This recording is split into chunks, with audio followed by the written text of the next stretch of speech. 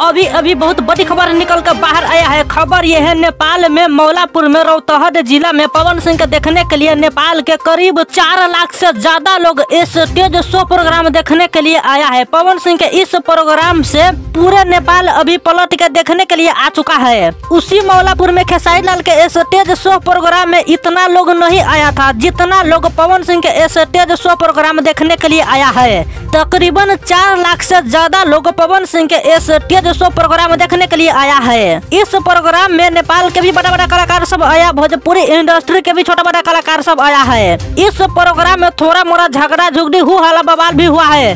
फिर भी stage show programme अभी भी चल रहा है। अब देखिए पवन सिंह इस प्रोग्राम में कैसा कैसा डायलॉग कॉमेडी एक्शन गाना गा के दिखाएगा।